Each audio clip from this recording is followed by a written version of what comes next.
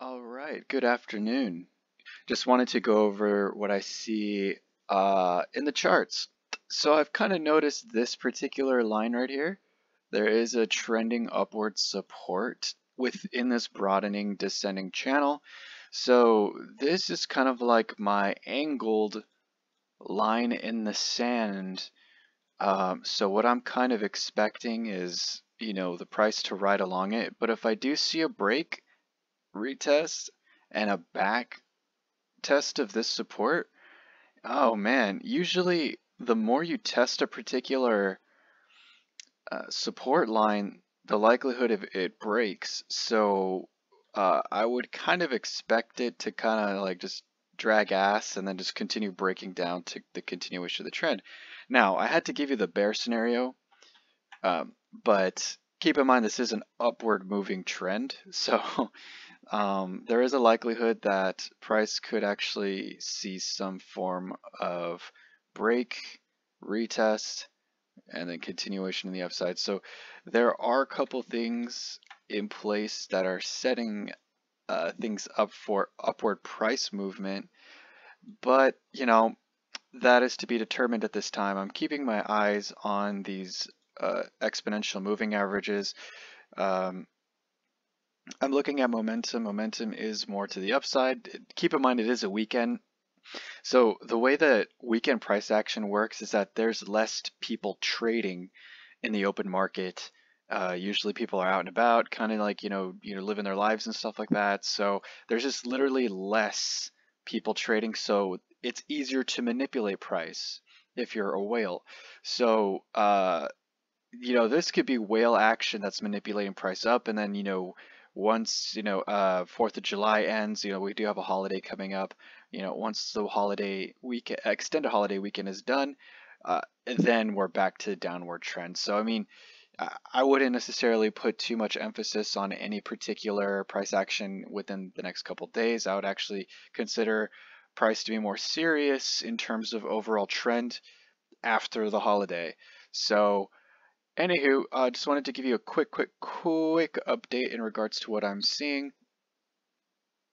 Uh, let's see, go to 37 minute. Yeah, we are kind of seeing a resolution in regards to this bearish momentum with the money flow kind of dissipating. Usually when we see money flow kind of dissipating, meaning we have a trend, uh, whoops, click the wrong thing. When we have a upward trend like this, this is the money flow indicator, the green and red. That kind of sends signals in my head like, oh crap, like, you know, we could see continuation to the upside more so than to the downside. And I mean, seeing this upward trend within this broadening uh, descending wedge, to me is a good sign. You could even argue that uh, this resistance line as well, that, that could be considered a symmetrical triangle. So that's kind of cool. Uh, but at the end of the day, these predominantly do break to the upside, but it has been back tested as resistance multiple times. Uh, or it was it was considered support right here, but when you usually break it, it get and it got retested as resistance. So you kind of have to go with the you know the, the ladder of that. You know it's currently resistance, so you have to respect it as such. Anywho, um, if it does break out, if this is truly a symmetrical triangle within a larger broadening wedge, uh, we got to look at the resistance line right there. And if there is a breakout to the upside, um, we would then see a revisit to 20.95.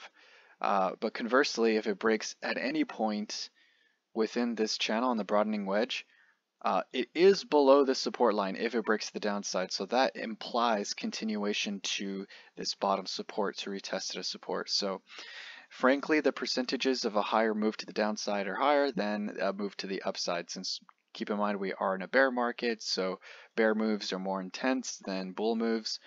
Um, but yeah, I just wanted to give you that scenario. Let me, um, yeah, let me duplicate or let me clone this particular. I just wanted, oh crap, I cloned the wrong thing, baby. All right. Um, I cloned the wrong thing.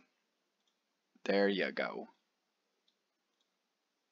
Okay, so these are the price, and, and that's the thing. Like, if it breaks, I'm assuming. Oh, I did. I did clone it. Ugh, okay. Well, well, regardless, let's say like the inflection point's right here.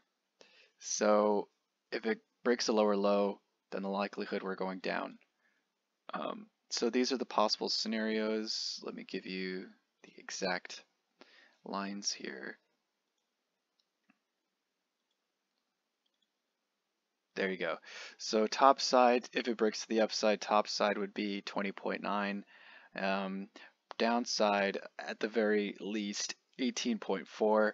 Given that this zone right here was actually uh, uh, considered support and it broke down as resistance, this would actually act as uh, resistance if it were to get broken. And then likelihood is that this bottom end support of the broadening descending wedge would get tagged at some point or maybe even overextended. So that's why like if price breaks below this yellow vertical uh, horizontal or slanted, I'm sorry, this slanted line, I am expecting prices to come down here at 17.9.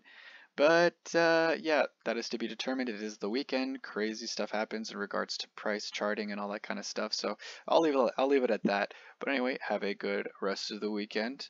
Uh, party on. Take care. Bye bye.